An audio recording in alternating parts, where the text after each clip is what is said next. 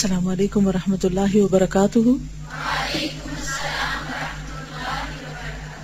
नहमदुहु व नुसल्ली अला रसूलिहिल करीम अम्मा बाद फअऊज़ु बिल्लाहि मिनश शैतानिर रजीम बिस्मिल्लाहिर रहमानिर रहीम रब्बिश्रह ली सदरी व यस्सिर ली अमरी वहलुल उक़दतम मिन लिसानी यफ़क़हू क़ौली फ़सल 33 सैर इल्लाह में रुकावटें मासी की एक सजा ये भी है कि इंसान का कल्ब सैर इल्लाह सैर का क्या मतलब है? चलना। सारा यसी सैर। अल्लाह की तरफ़ चलना, अल्लाह की तरफ़ जाना। सैर इल्लाह में पशमुर्दा पशमुर्दा का क्या मतलब? मुरझाया हुआ। जैसे फूल मुरझा जाता है तो क्या होता है? इधर उधर ढीला होकर गिर पड़ता है, लेजी हो जाता है। सुलू के आखिरत में उफ्तादा पा, काहिल, सुस्त और पस्त हिम्मत हो जाता है। उफ्तादा बनी उखड़े हुए पैर। ताद होता ना। या फिर फलाह और नजात की राह में हिजाब आ जाते हैं। मासी इकदाम सफ़र में काहली और सुस्ती पैदा कर देते हैं। गुनागार की हिम्मत इस कदर पस्त हो जाती है कि अल्लाह की तरफ़ उसका कदम उठना ही दुश्वार हो जाता है। और यह भी उस वक्त, जबकि मासी और गुनाह उसे दूसरी जानब न मोड़ दें। इस सूरत में गुनाह मंजिल तक पहुँचने में हिजाब बन जाते हैं। और सैर इल्लाह में रुकावटें डाल देते हैं। फिर तालिब को गुमराह करके दूसरी तरफ़ ले जाते हैं। इंसानी कल्ब का ये हाल है कि वो अपनी कुव्वत और ताकत ही के बल पर अल्लाह की तरफ़ बढ़ता है। जब मासी और गुनाह उसे बीमार कर देते हैं तो दिल, यानी कल्ब, कमज़ोर हो जाता है। और उसकी कुत इकदाम और ताकत सैर भी कमज़ोर हो जाती है। यानी फिर अल्लाह की तरफ़ जाने को दिल ही नहीं करता। अगर खुदा न खास्ता कल्ब की ये कुत और ताकत बिल्कुल ही खत्म हो जाए तो समझ लीजिए कि वो अल्लाह से बिल्कुल ही मुनकते हो गया, कट गया, और उसका तदारुक नामुमकिन हो जाता है। वल्लाहुल यानी अल्लाह ही मददगार। बस मालूम हुआ कि गुनाह, कल्ब को मुर्दा, या फिर खतरनाक मर्ज में मुबतला कर देते हैं। या कल्ब की कुव्वतों का होना लाबुदी और ज़रूरी है, यानी दिल की कुव्वत का होना ज़रूरी है। कल्ब की यह कमज़ोरी इन आठ सिफात पर जाकर मुंतही होती है, यानी जाकर रुकती है। जिससे हज़रत सल्लल्लाहु अलैहि वसल्लम पनाह मांगा करते थे, और वो ये है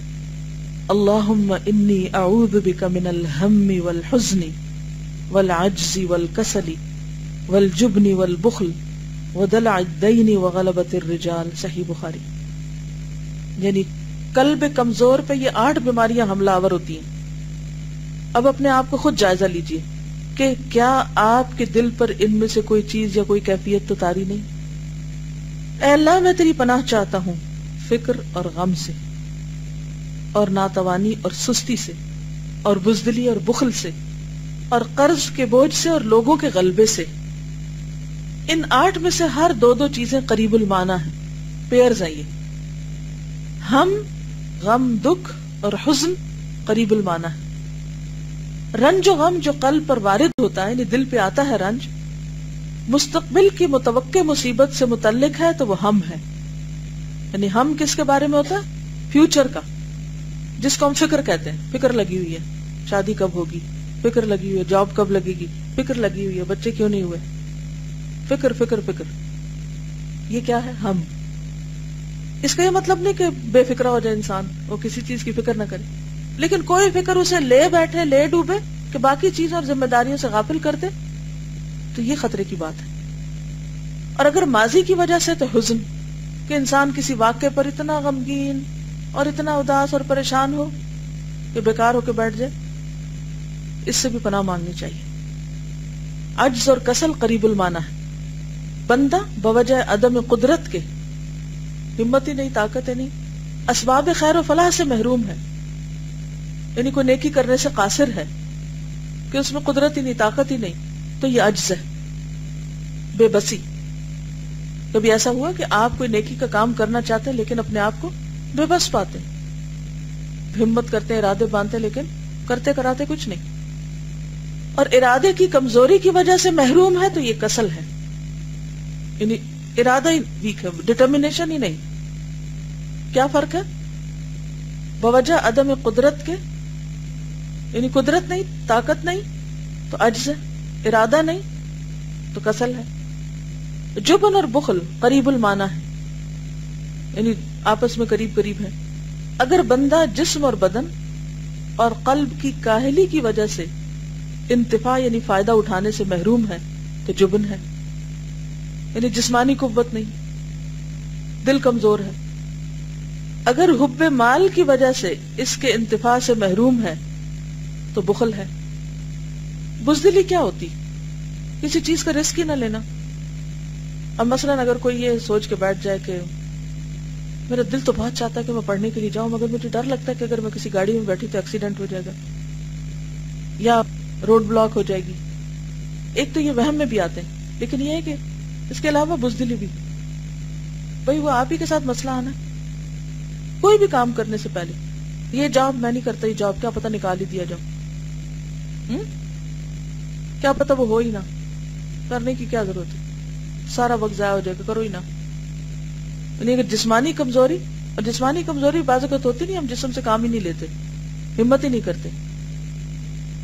मौके हैं, लेकिन हाथ पे हाथ तोड़ के बैठे हुए कि बहुत से लोग हमारे मुल्क के काम नहीं करते ना। काम है, कभी आप किसी भी मांगने वाले से कहें, आप जरा आए, काम करें तो कहेंगे हमें दस बीमारियाँ हैं। हालाँकि सब बीमारियाँ निकम्मे रहने की वजह से लगती। हैं इसी तरह, बाजुकत इंसान के पास माल होता है, चीज़ होती है, लेकिन बुखल की वजह से ना अपने आप पे लगाता है, ना किसी और पे लगाता है। न खुद फ़ायदा उठाता है, ना किसी को उठाने देता है। दला दैन और कहर या गलबत रिजाल करीबुल मान है, दोनों तरह आता है ये लफ्ज। किसी हक के बिना पर दूसरा उस पर गालिब आ जाए, ये दला उद्दैन है, जिसे कर्ज ले लेता है इंसान। और अगर बातिल तरीके पर दूसरा उस पर गालिब आ जाए तो कहर रिजाल है। ये लोगों का गलबा। यानी दूसरे उसको यूज़ करें या उसे डोमिनेट करें। बातिल तरीके पर। ना हक, ना जायज़, ना रवा। तो इन चीज़ों से पनाह मांगनी चाहिए और अल्लाह सुबहान तला की पनाह में आना चाहिए। और ये दुआ इतनी अहम है कि बाद रिवायत के मुताबिक अगर कोई नमाज़ के आखिर में ना पढ़े तो नमाज़ नहीं होती।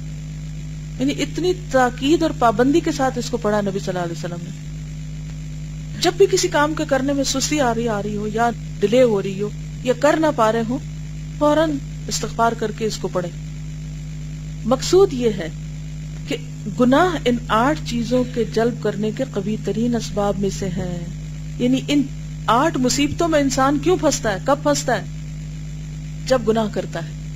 गुनाहों की वजह से नहीं, कोई ना कोई गुनाह होता है जिसकी वजह से इंसान इनमें से किसी, न किसी चीज़ का शिकार हो जाता है। सोचिए, हमारे अंदर तो नहीं ऐसी कोई मुसीबत? और अगर है पहले तो आप ये आठ चीज़ें लिख लीजिए कि इनमें से मैं किस किस बला का शिकार हूँ। और फिर सोचिए कि रीजन क्या, वजह क्या है? और अगर आप समझे कि आप कमज़ोर हैं और अपने उस के ऊपर काबू नहीं पा रहे तो अल्लाह की मदद ले लीजिए ना। अल्लाह वलीना आमनु युखरिजुहुमिनज़ुलुमात नूर। अल्लाह निकाल देगा इस बला से।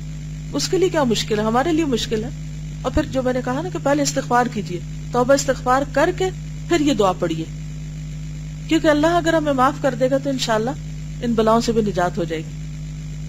मकसूद ये है कि गुनाह इन आठ चीज़ों के जल्ब करने के कभी तरीन इसबाब में से हैं। और ये इन चीज़ों को इसी तरह जल्ब करते हैं, जिस तरह दूसरी हदीस की रूह से मिनजह दिल बला व दर शका वसूल कदा। आदा सही बुखारी बला की सख्ती बदबख्ती की गिरफ्त फैसले के बुरे नतज और दुश्मनों की हँसी को जल्ब करते हैं इनामात इलाहिया और खैर आफियत को अल्लाह की लानत और खफगी से तब्दील कर देते हैं नीज ये उमूर अल्लाह की खफगी और नाराज़गी के कवी तरीन इसबाब में से है यानी जब अल्लाह ताला नाराज़ होता है तो इनमें से कोई ना कोई चीज़ इंसान देखता है क्या समझा? जी, आप बताइए। कौन से जुमले बताइए? मैं दोबारा एक्सप्लेन कर देती हूँ। पेज 179 थर्ड लाइन मासी, यानी गुनाह। इकदाम सफ़र में। कौन सा सफ़र? अल्लाह की तरफ़ जाने का। मसलन, कोई मिसाल दीजिए। मनसला का तरीकन यल तमिसुफी इल्मन। इल्म हासिल करने का रास्ता। आप सोचते हैं क्लास में जाएँ कोई क्लास ज्वाइन कर लें, कुछ पढ़ें, किसी मजलिस में जाके बैठे, कुछ सीखें। लेकिन जा ही नहीं पाते, कुछ कर ही नहीं पा रहे। क्योंकि इल्म का रास्ता क्या अल्लाह की तरफ़ जाने का रास्ता है नमाज़ का रास्ता, मस्जिद का रास्ता, किसी की इयादत, खिदमत का रास्ता। अल्लाह बंदों को कहाँ से मिलता है? बंदे अल्लाह को कहाँ से पाते? अल्लाह सुबहान तला क्यामत के दिन बंदे से कहेंगे, क्या इबन आदम? मैं भूखा था, तूने मुझे नहीं खिलाया। मैं प्यासा था, तूने मुझे नहीं पिलाया। मैं बीमार था, तूने मेरी आदत नहीं की। मैं बेलिबास था लिबास नहीं दिया कहा, अल्लाह ताला तेरे पास तो सब कुछ है। कहा कि हाँ मेरा फला बंदा भूखा था, तूने उसे नहीं खिलाया अगर खिलाते तो मुझे वहाँ पाते। तो ये भी अल्लाह की तरफ़ जाने का रास्ता है ना, किसी भूखे को खिलाना। किसी प्यासे को पिलाना, किसी बेलिबास का लिबास का बंदोबस्त करना, किसी बीमार की आदत करना। इन कामों की तोफीक हमें क्यों नहीं होती? बाजू को सामने को पड़ा होता तो हमें तोफीक नहीं होती, उसकी मदद कर दें। ये कुछ लोगों को होती है। क्या फ़र्क क्या है? कुछ लोगों के लिए रुकावटें हैं और कुछ के लिए नहीं है। तो इस पर सोचिए कि क्या वजह होती है। यानी किसी भी नेकी का जो मौका होता है ना, वो अल्लाह की तरफ़ जाने का एक रास्ता होता है। तो उन मौकों से दूरी और उनसे फ़ायदा उठाने की सलाहियत मफकूद होना, ये सैर अल्लाह की तरफ़ रुकावट है। तो मासी जो है, यानी गुनाह जो है, इकदाम सफ़र, यानी सफ़र शुरू करने। इकदाम का मतलब होता है, इनिशिएटिव लेना।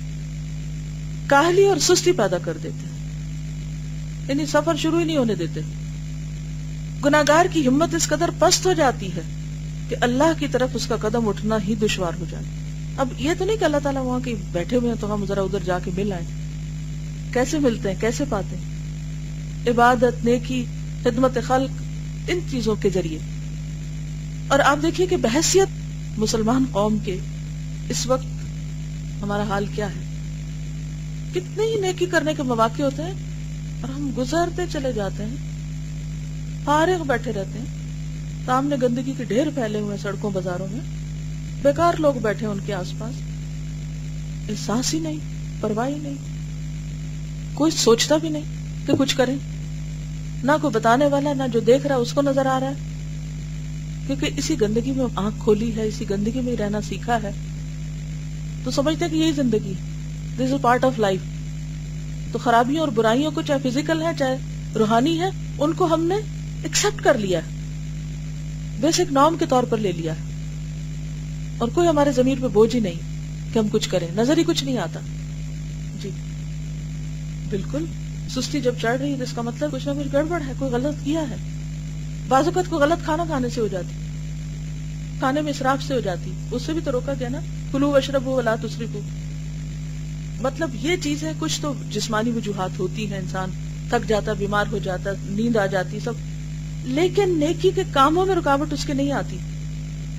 यानी उसकी जो नेकी की दौड़ है, उसमें नहीं रुकावट आती। इसका यह मतलब नहीं कि मोमिन बीमारी नहीं होता कभी, या मोमिन जो है वो कभी थकता ही नहीं। इसका मतलब यह है कि वो बीमार भी होता है तो वो भी अल्लाह की रहमत होती है बाजुकात के, अल्लाह ताला उसको आराम कराना चाहता है। या बाजुकत ये होता है कि इंसान उसके ज़रिए उसके गुनाह झड़ते हैं। और अगर वो किसी काम के मुस्तकिल तौर पर करने का आदि है तो बीमारी में भी अल्लाह उसकी हाजिरी लिख लेते हैं। ठीक है?